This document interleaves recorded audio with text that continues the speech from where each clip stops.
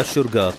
اللقمة السائغة لدى داعش وهجماته الإرهابية التي تودي بحياة المدنيين العزل والتي أصبحت تشكل خطرا على جميع مناطق محافظة صلاح الدين الشمالية ووسط مطالبات القادة الأمنيين والإدارة المحلية في المحافظة بتحرير جانبها الأيسر إلا إن القيادة العسكرية منشغلة بتحرير كامل أراضي مدينة الموصل.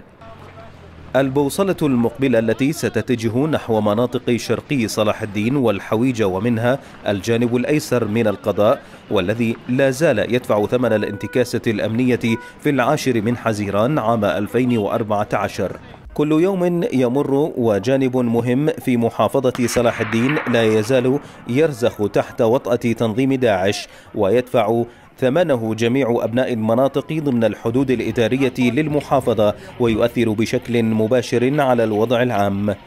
ويبقى المواطن بين مطرقة داعش وسندان تأخر التحرير الذي لبث تحت وطأة عناصر إرهابية لمدة تزيد على نحو ثلاثة أعوام. ناصر الهاجري قناة سامراء الفضائية.